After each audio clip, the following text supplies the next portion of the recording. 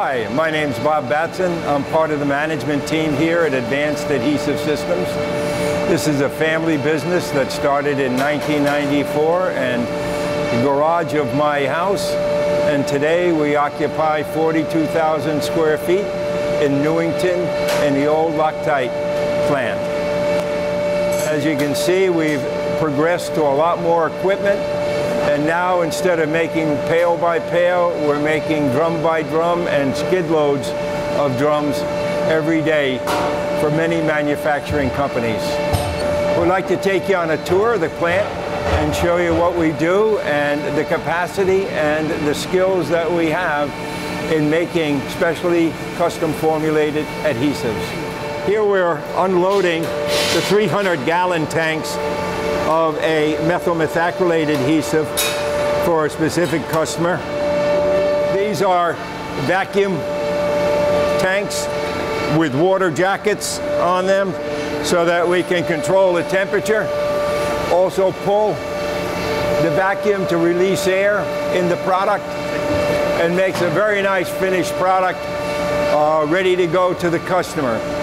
This is for a private brander who puts his own labels on the product, which is the primary part of our business, is making products for other companies who actually market it. We focus on custom formulating and manufacturing and try not to get involved in the marketing side of the business or competing with our customers. Because this product is so viscous, so heavy in viscosity, that we have to use a press to force it out of the tanks and into the drums. All of our equipment is stainless steel. This had been a food quality stainless steel so that we do not have any problems with contamination of the, the products on it. They're all maintained by our own maintenance department uh, and they actually are able to make 300 gallons at a time of product. Our crew of operators have been with us most of them for at least 12 to 15 years. They're very skilled, efficient in what they do. They work together as a team to make sure that the product is out the door on time and of the right quality. This is the resin bay. We try to keep activators and uh, the uh, catalytic materials on one side and the resins on the other so we don't have any cross contamination. So this side here primarily makes anaerobics, UV resins, and the resins for methyl methacrylates and epoxies. This is a custom formulated resin that's going into the RV market uh, to bond fiberglass and to uh, also for aluminum trim to fiberglass. They're a very specialized product. Uh, we sell quite a bit of this during the season when they're building RVs. The time when we started in 94 with a drill press, in my garage. We've come up to this type of equipment where we can make a variety of products for a variety of customers in different colors and in different cure speeds. Everything is custom formulated. We don't have a catalog. We go by what the customer needs, not what we have to sell. This is the activator bay where we make most of the catalysts and hardeners and different products which do contain the uh, copper and catalytic uh, formulations here. As you can see, we have a variety of equipment in sizes so that we can make small batches as well as large batches up to the largest tanks in the other room there. So that we're not hampered by saying any customer has to have a special batch size. We can make all batch sizes and we can make them effectively. When we got into water-based emulsions for the flooring industry, this makes a carpet adhesive. We went to plastic tanks which hold, this is a 300 gallon.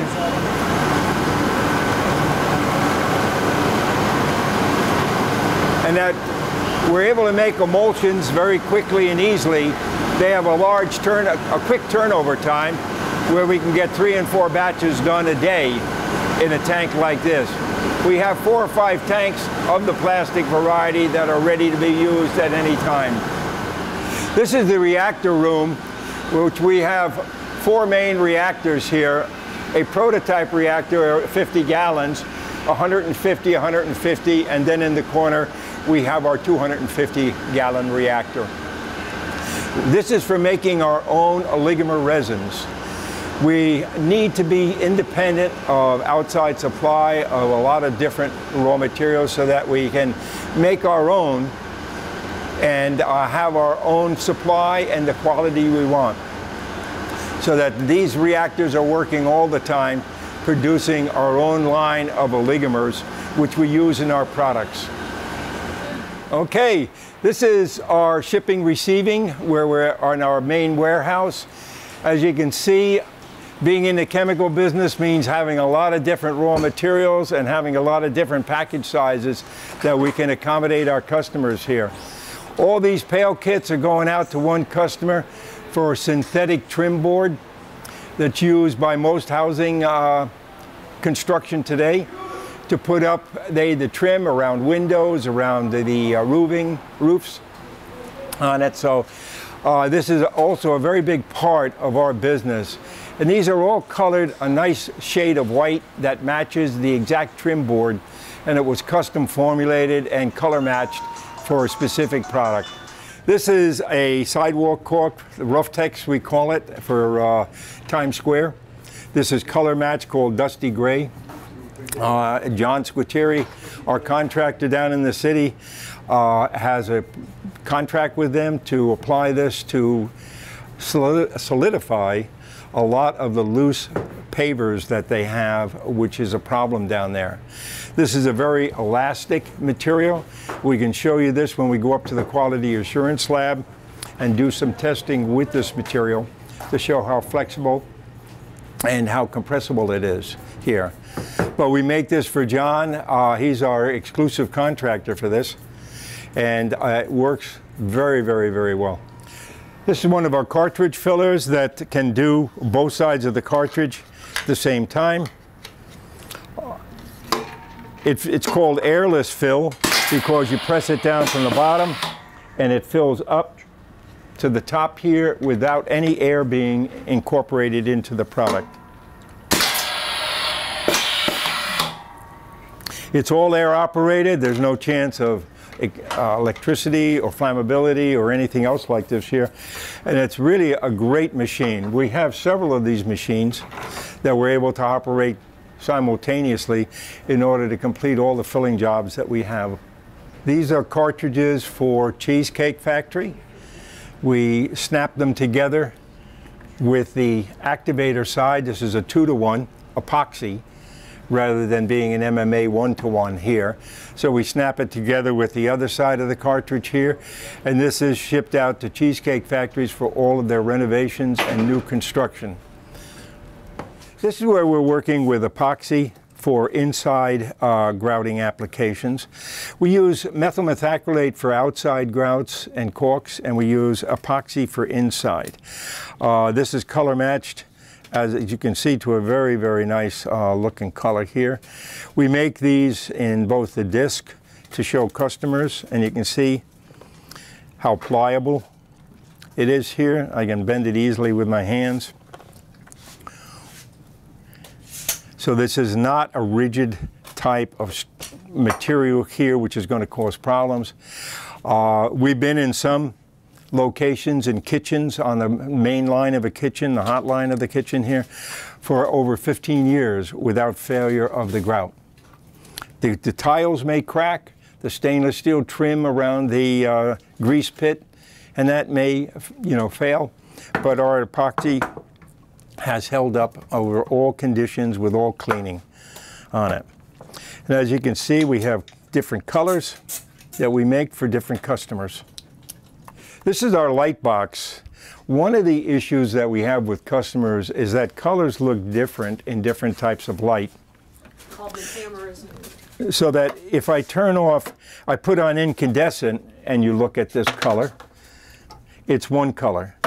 If I turn on the next light, which is fluorescent, which is very popular in most kitchens and bathrooms, or if I put on the new LED light, which is becoming very prevalent in most hotels and restaurants now, they all have a different appearance. What we do is we take our color matching sticks and the customer selects off of a chart like this here and tells us which one that he'd like to see.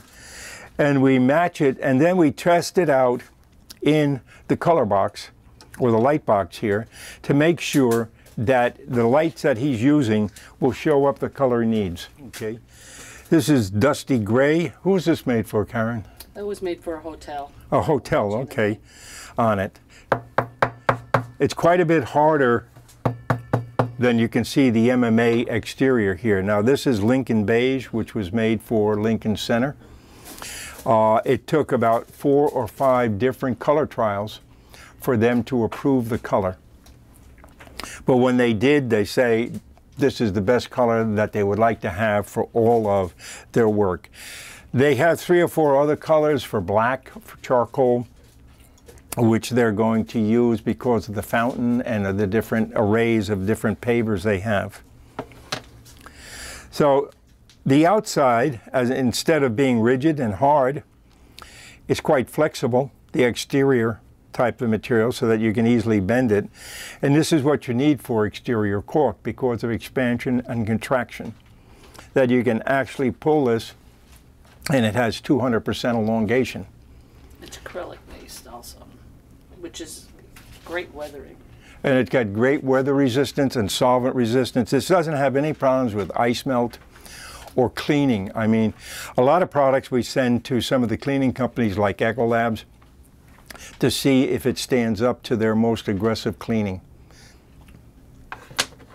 one of the first tests that we had to pass was oleic acid, which is produced by food uh, as it actually decomposes or, or is being, uh, let's say, cooked or anything else like this here. And so that it's very aggressive and it kills regular caulk. I mean, if you take a sanded mortar-based caulk, things like oleic acid actually cause it to crack and disintegrate. Our materials we can immerse in there, put in an oven, and have it sit there for weeks and have no effect whatsoever on the epoxy. Epoxies are well known for being solvent resistant. We also specially select um, the chemicals for each application. Um, as long as well as the pigments. The pigments are all weather fast to the highest degree that we can get. So there's no fading, even in the exterior applications and interior. Yeah, the two main problems with a lot of either epoxies or MMAs is, is either fading of the color or yellowing. So what we do is we put in uh, UV absorbers to prevent yellowing, and we also put in color fast uh, pigments so they do not fade. So that we, John gives warranties, our contractor John will give a warranty for five to 10 years against any change in the physical properties and or the color of the product. Here Karen's making slugs. What, these are replicas of a typical grout line. It's about 3 eighths wide by 3 eighths deep, which we would find for interior types of applications here. Well, this is for exterior. And this is an exterior one here. Yep. And yeah, this you can see the one-to-one. So as John does, he tapes it off to make sure that there's no residue on either of the paver sides. We do this exact same technique that John uses.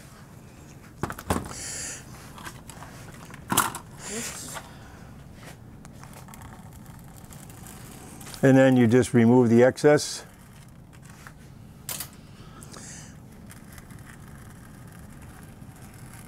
Make sure there's no air. How much time will you have to work with that, Karen? In, in About the an hour. an hour in An there. hour at room temperature. Okay. We also do this outside in the sunlight to make sure that it's not going to be too fast if it's being used on direct sunlight and that, so that they have time to work it. So once you remove your tape, you've got a beautiful clean edge.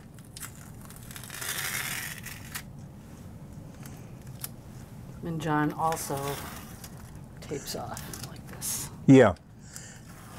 So the material will, as it cures, it will depress a little bit, forming a concave surface in there. And uh, it gives it a very nice appearance. Like you can see here, I mean, um, These are the epoxies, but if you have the MMAs, they are, let me just grab that. They have the texture of a sanded system so that they look like a normal grout. A lot of times on the interiors at cheesecake factories or that, they don't mind having a shiny surface like this here. It stands out against the rough quarry tiles and gives a nice contrast between the rough and the finished look. Okay, this is our quality assurance test lab. Today we're testing, these are our, our water uh, emulsion adhesive that's used for flooring where we try with PVC. We're trying it with different products, but basically carpet, vinyl tile, resilient tiles are also very big. And Todd here is operating the uh, MTS in, or tensile tester. And he puts the sample in the jaws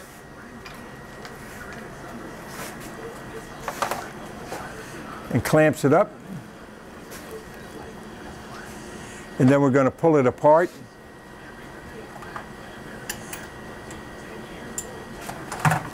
And it's all recorded on the machine here. And the machine does all the math for us and gives us statistical deviation and everything else. As you can see, the product is being pulled.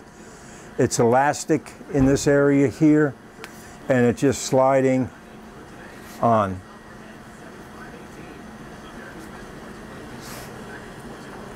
So we'll do all the different substrates and determine what the strength is. This is also helping us in formulate when we need better properties, such as higher strength or less strength. In certain cases, the customer wants it to come away clean from the substrate, like the carpet tile, and stay on the floor. But the nice thing about it is if we take a sample like this, with this pressure sensitive adhesive, you can put it back together again and it forms a, a new bond called retack. So that if you took up a carpet tile and there's nothing on the back because the, adhesive did not stick to the backing here but stuck to the flooring, you could put this back down without having to reapply the adhesive, which is a great cost savings in mess and time and effort by contractors out in the field. So whether we're doing resilient tile like this, or whether we're doing carpet tile, or carpeting itself, these are all issues that uh, they have the same thing.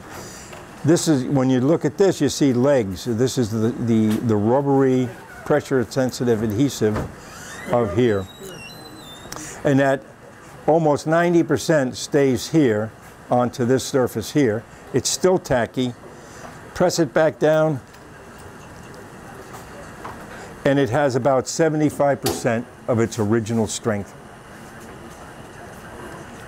A nice thing about this material too is that a lot of water-based products have a tendency to re-emulsify if they see water. Our product will not re-emulsify. It maintains its strength even in the presence of water.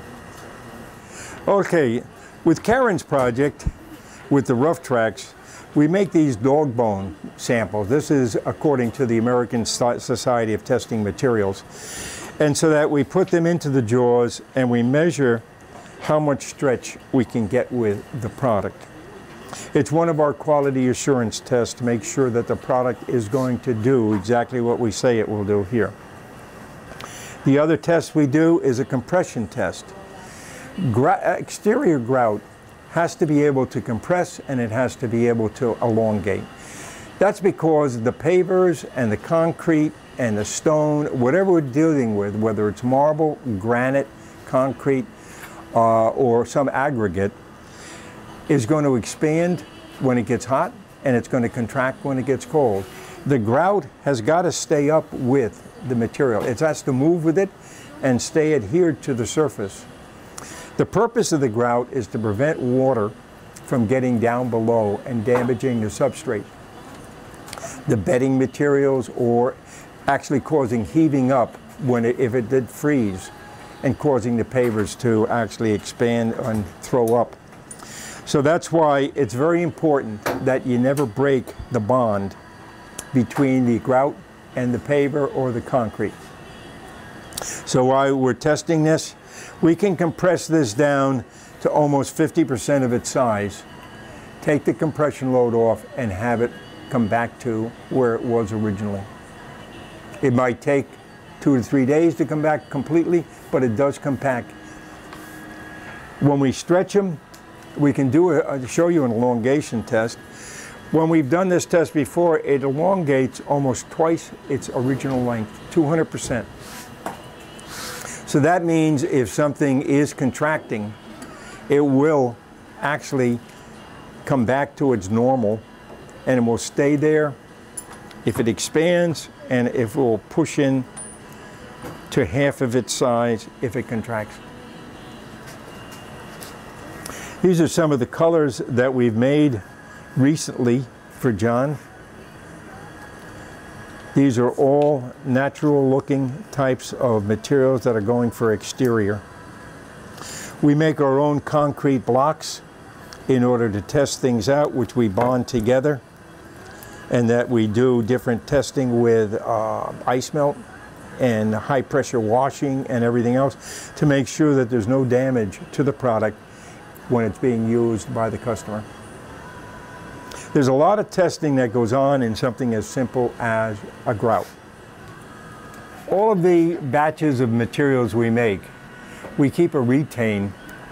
Uh, in this case, these are MMAs or epoxies and that, where we label the date and the uh, batch number, the product, whether it's activator or not, and we store them at room temperature for three years so that if anything goes wrong in the field, we're able to take our retain, be able to test it and see, A, could it be due to A, the product was wrong, the shipping, which the temperatures in shipping can cause a degradation of the product if it exceeds certain values. I mean, in a hot truck at 150 degrees may cause some products to have a problem.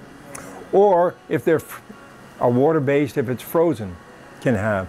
So we test these products every three months to make sure that the product is still in spec and is still warranted, warranted uh, to the customer on it.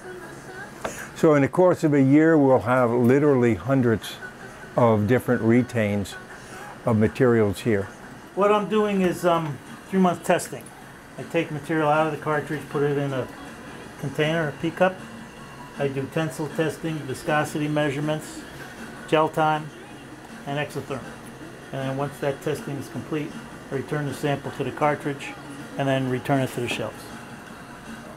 Okay, this is one of the main development labs uh, that we have. We have six development labs, uh, each doing different things. On that side is where we do UV development. You can see the UV lamps that we're using. We've brought in a new UV lamp, which is called an LED broadcast lamp here.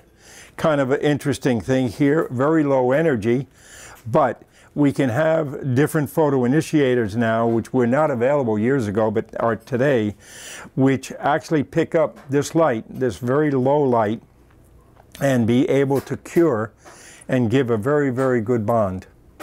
This replaces, to a large extent, some of the older lamps, which were much more powerful. This is like 400 watt. This is 20 watt. You can see the difference, I mean, a factor of 20, and yet with the new chemistry, we're able to achieve the same cure.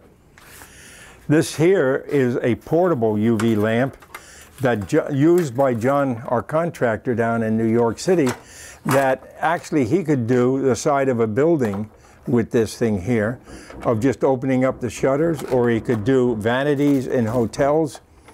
We made a, a UV curing material for doing different stone and marble and granite and that in hotel rooms uh, where he would put it on the vanity to prevent damage to the vanity, cure it in seconds with no odor in the room and be gone. I mean, and this was within seconds the beauty about UV is that in 10 to 15 seconds, you're 100% cured with no odor. So the other thing is we're always bringing in new raw materials. We're always testing different uh, different things as they come on the market, making sure that we've got the most up-to-date adhesive formulations going. Todd is one of our new development technicians and he's doing peel tests on fabric onto the water-based carpet adhesive and measuring how much. This is a retack type of test where we've had put it down and we've removed it several times, but it's still very, very tacky. And if you push it back down into position,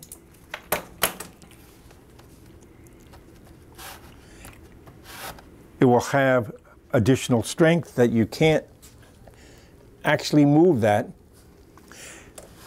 But when it comes away, it comes away clean.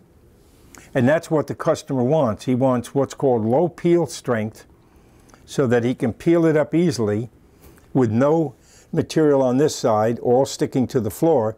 But when he puts down a new tile, it's going to hold that new tile in place just like the original tile was held in place here.